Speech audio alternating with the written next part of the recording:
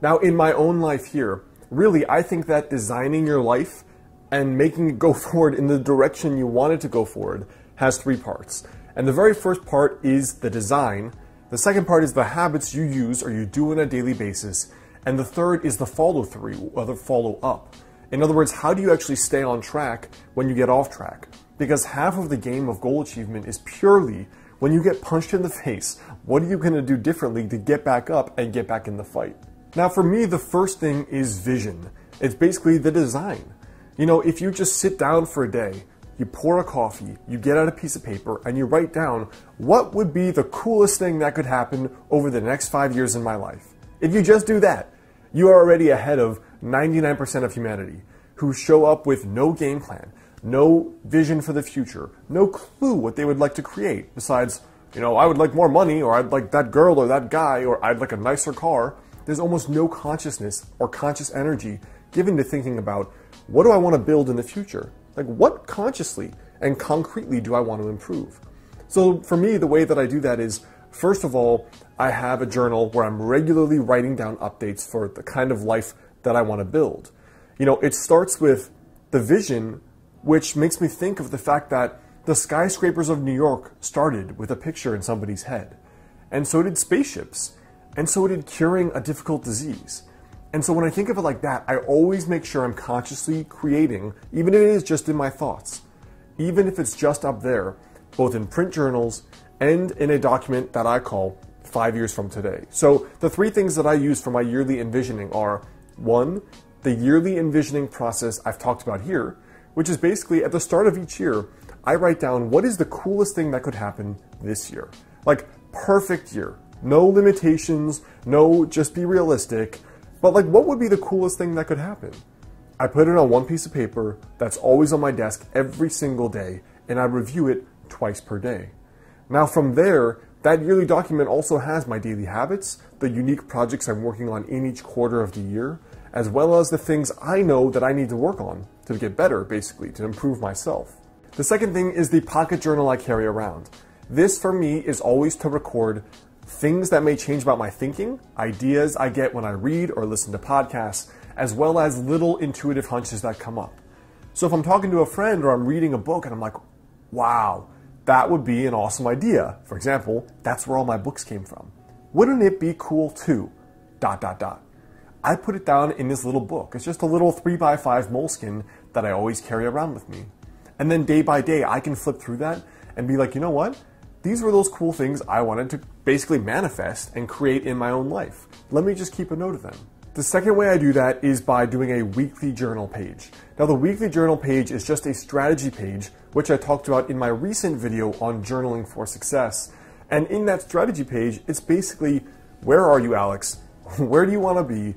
And are those habits you're doing every day sufficient enough to actually get you there? So, the whole point of this journal page is reflection. You're doing this are you still on track? If not, what has to change? And then finally, I have this little journal notebook, a digital notebook in Evernote, and it just says five years from today. Now, I don't really stick with that idea of five years from today, but the point for me is where do I want to go? In what direction? It could be as simple as moving. Like, I know I'm moving to California after I'm done with my doctorate in Portland. It could be as simple as the relationship you want to be in. For example, I'm 30. I know that I want to be married by 35, so I can have that there. I know that I want to have a private practice and a traditionally published book and three, four vacations per year. I put all of that down where I don't know how I'm going to make it happen yet, but it will happen for sure. I haven't quite fleshed out the process. The point is that you're putting trajectories in your brain and in your subconscious. And when you check that every once in a while, you're kind of like, oh yeah, I knew I wanted to do that, but all right, let's start thinking about how I can actually do it.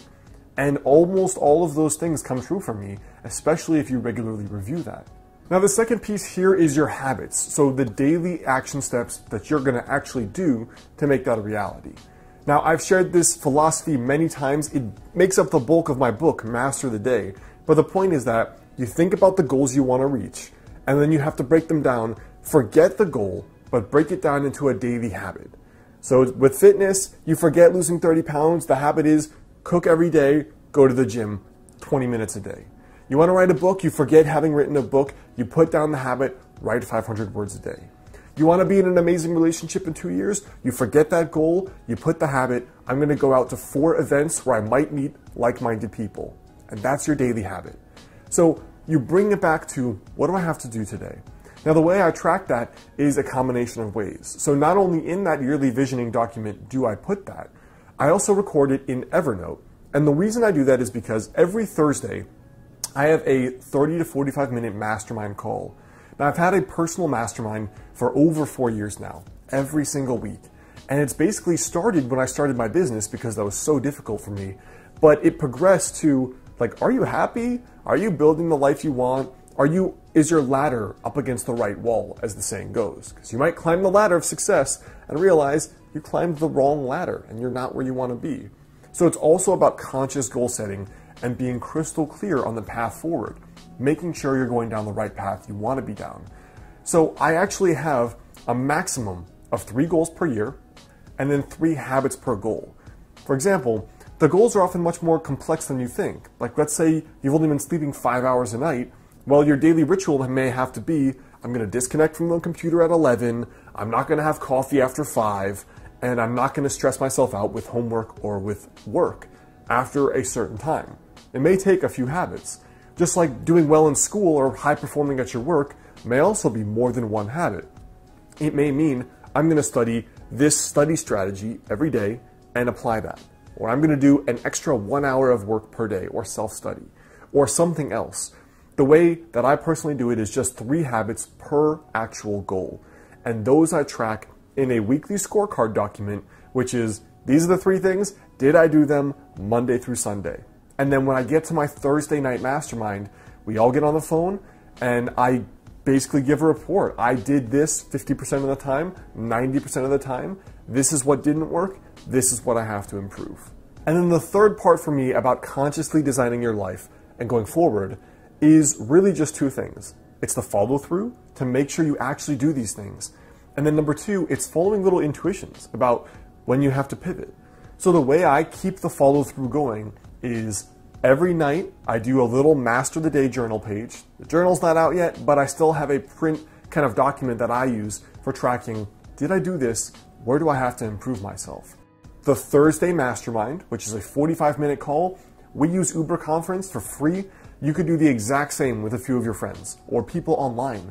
My very first mastermind was totally online people I had met that were other internet entrepreneurs.